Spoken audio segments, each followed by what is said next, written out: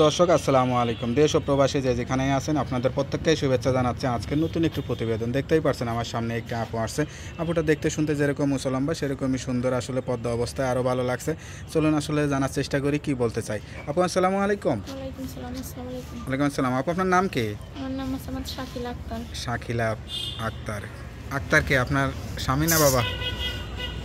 আমার নাম শাকিলা সেটা মানে নামের সাথে আক্তার তা আক্তার যোগ থাকলে এটা ইয়া লাগে না পদবি লাগে না হয় বাবা থাকে না হলে স্বামী থাকে।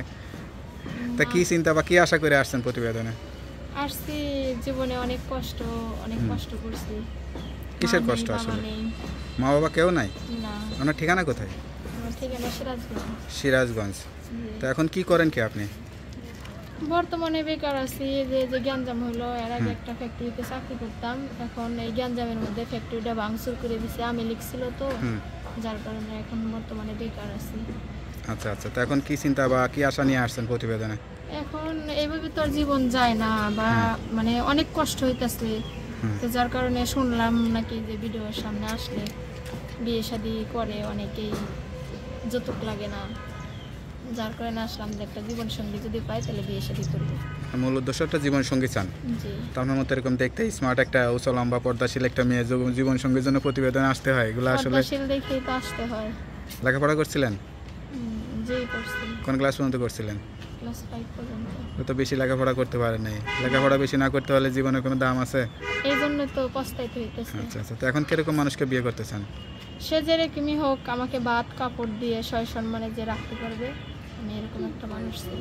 মানে আপনার ওরকম টাকা পয়সা ধন দৌলত ওরকম কিছু চাওয়া পাওয়ার নাই? না ওরকম কিছু চাওয়া পাওয়ার নাই আমাকে। আপনার দিনে তিন অক্ট ডাউল বা তো যাই হোক দিয়ে আ- সুখে শান্তিতে যেন বসবাস করতে পারি। আচ্ছা আচ্ছা। কোন বিষয়টা বেশি কষ্ট লাগে এখন? বেশি কষ্ট লাগে দুনিয়াতে মা নেই বাবা নেই। একা কর্ম করে খাইতে হয়। খাইলেও কেউ কর নাই না খায় থাকলেও কেউ কর মা বাবা থাকলে তো একটু দুঃখ কষ্টটা ভাগ করা যেত শেয়ার করে নিতেন তাই না? তো এখন আমার এইখানে আসা লাগতো এখন দুঃখ কষ্ট ভাগ করে নেওয়ার মতো একটা জীবন সঙ্গী চান সেটাই তো। তো আপনার সঙ্গে কীভাবে যোগাযোগ করবে? ফোন নাম্বার আছে। নাম্বারটা মুখস্থ আছে? নাম্বারটা আমার কাছে দেন আমি দেখে বলে দিই। হ্যালো বিয়া শুনতে পারলেন এক অসহায় গরিব পরিবারের একটি মেয়ের জীবনের গল্প। মা বাবা নাই কতটা অসহায় তার কথা শুনে বুঝতে পারলেন। সব কিছু জেনে খোঁজখবর নিয়ে কেউ যদি বিয়ে শাদী করতে চান অবশ্যই তারা তার এই নাম্বারে যোগাযোগ করবেন। আপুর নাম্বারটি হচ্ছে zero one eight one seven eight one six two one five. নাম্বারটা কার কাছে থাকে? যাক নাম্বারটা খোলা রাখবেন। আর যত কষ্ট হোক পাঁচক্ত নামাজ কালাম পড়বেন। আল্লাহর কাছে চাইবেন আল্লাহকে স্মরণ করবেন আল্লাহ আপনার জীবনের কষ্ট দূর করে দেবে মনের মতো একটা জীবন সঙ্গী বের করে দেবে। তার কিছু বলতে চান?